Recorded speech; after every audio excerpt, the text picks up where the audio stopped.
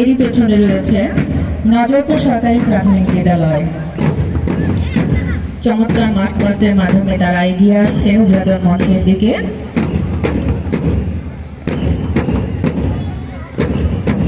সালাম প্রদান সেরে অভিবাদন মঞ্চ পরিত্যাগ করে যাচ্ছে। রায়পুরা দুই নং সরকারি প্রাথমিক বিদ্যালয়ের শিক্ষার্থী দল।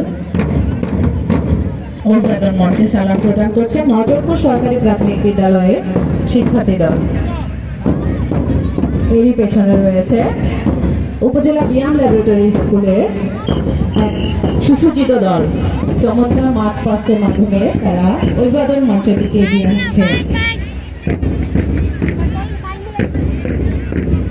অভিবাদন মঞ্চে সালাম প্রদান করছে উপজেলা বিয়াম ল্যাবরেটরি স্কুলের শিক্ষার্থী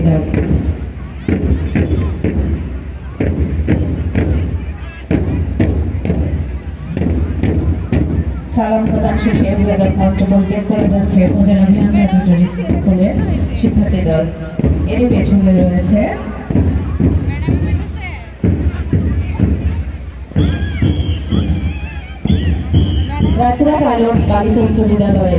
এক